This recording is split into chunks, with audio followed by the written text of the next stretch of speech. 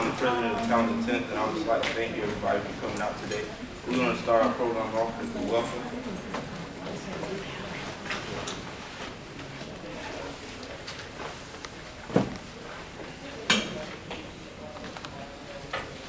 Good afternoon. My name is Katura Jackson, and I would like to cordially welcome you to the Talented 10 Fall Lecture Series, No Boundaries to Success. This is a program that seeks to provide a forum for Augusta State students to be encouraged on their road to academic success. Our topic is entitled Relationships, Friendly Environments, and Serious Associations.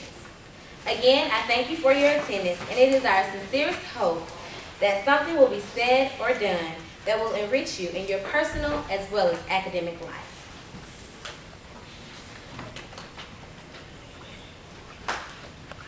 Thank you, Katura. We'll now have our welcome, I'm sorry, our introduction of speaker by Crystal Ruffin. Good afternoon. Today our speaker will be Pastor GMT Harris at the New Life Worship Center. She is the Director of Women's Affairs. Um, she actually attended Augusta State at one point. She's the wife of Pastor Paul Lamar Harris who's also with us today. She's the leader of several departments. Um, she has two children who attended, one graduated, one attends Augusta State. And she's just a great woman of God. and You'll be, um, you'll enjoy her as she speaks. She's going to speak on relationships. She's a phenomenal speaker. She's also the um, host of her weekly broadcast, Life with Jen, which comes on 4 o'clock on Sundays. So um, just enjoy her as she comes. To, at this time, I present to you Pastor Jen Harris.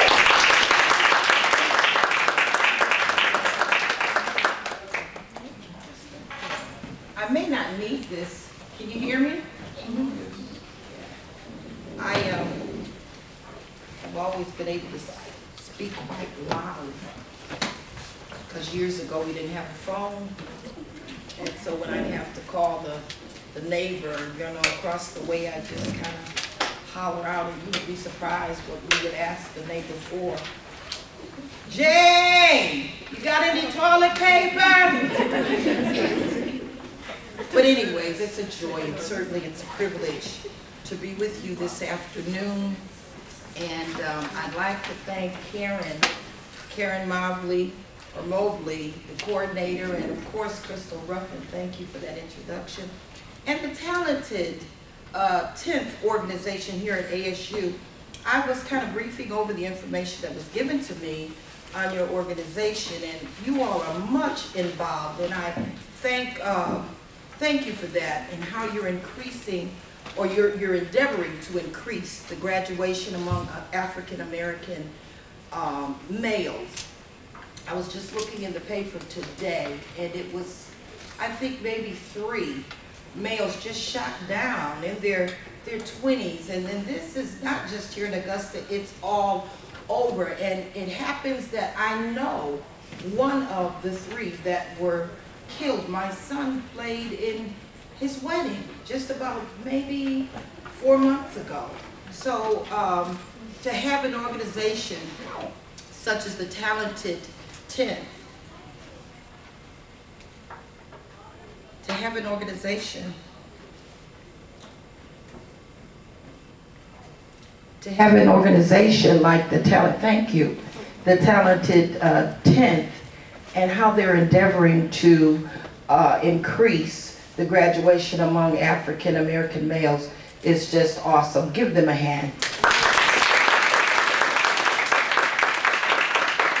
And when I saw that this group was committed to advancing the development of character as well as professionalism, I knew this was a great opportunity, and so I just kind of thanked Crystal for the invitation, and I'm glad to be here.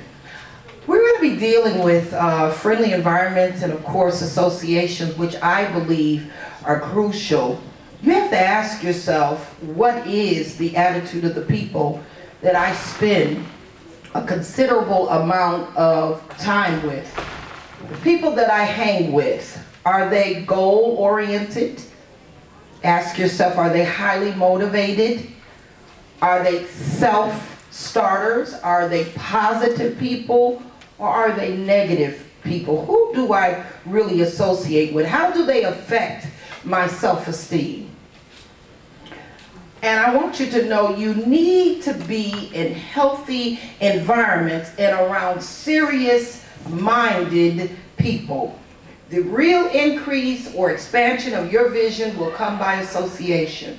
Wrong people will produce the wrong life.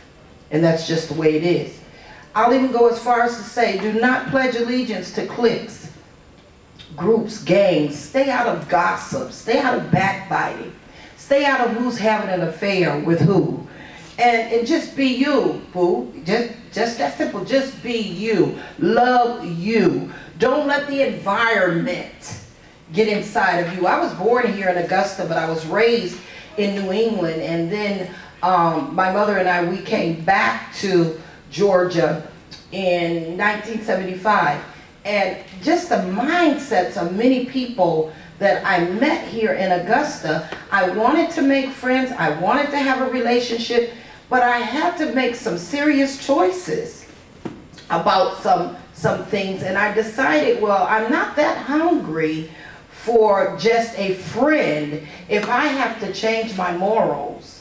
You understand? And so I made the decision that I am not going to allow the environment to get inside of me.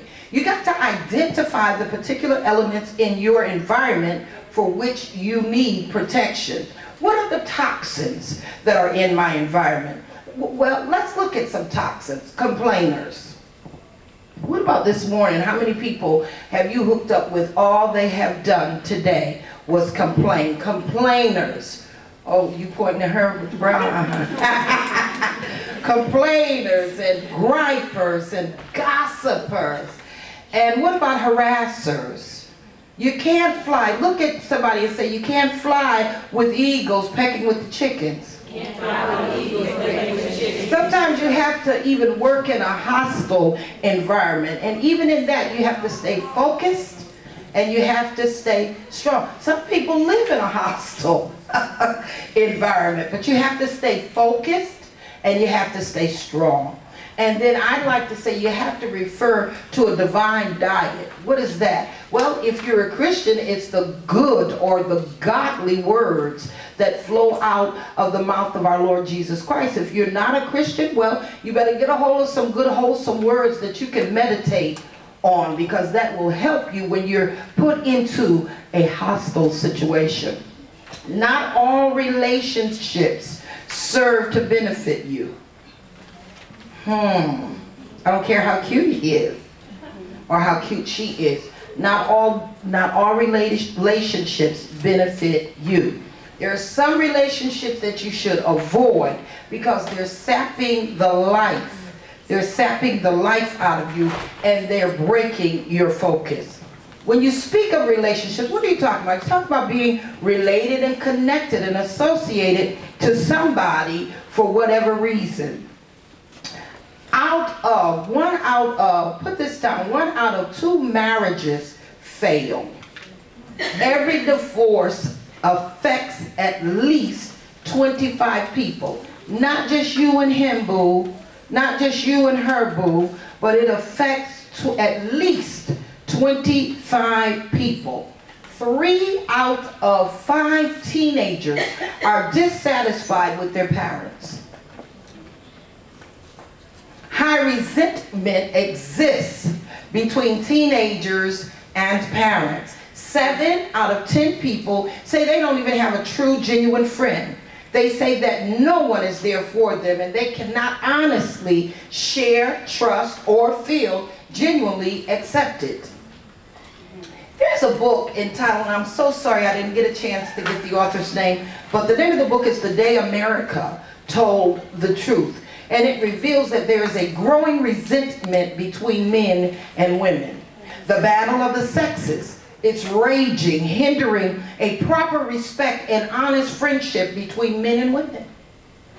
One example of how relationships have deteriorated is that some of the most common words revealed in the book that women use to describe men are dogs and pigs it has gone down to be just the animal kingdom.